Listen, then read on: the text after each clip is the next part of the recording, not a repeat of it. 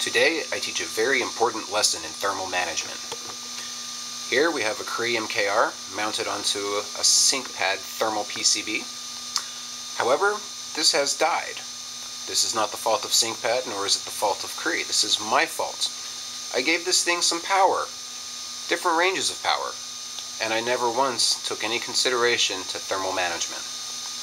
Well, that began the quick death march towards delamination. So let's take a look. Yeah, not very pretty, is it? That's what happens when you do not give your LED proper thermal management. This is why I must stress the importance of making sure you have good thermal management.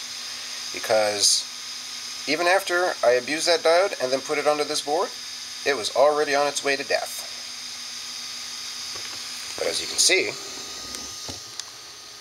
my other MKR, again on another SinkPAD PCB, is doing just fine. No problems. Runs nice and cool. I have absolutely no problems coming over here, putting your hand on the heatsink, just holding it there. Heatsink is actually a little bit colder than room temperature is what it feels like. Nice and bright. Everything's lit up in the tank. Works well.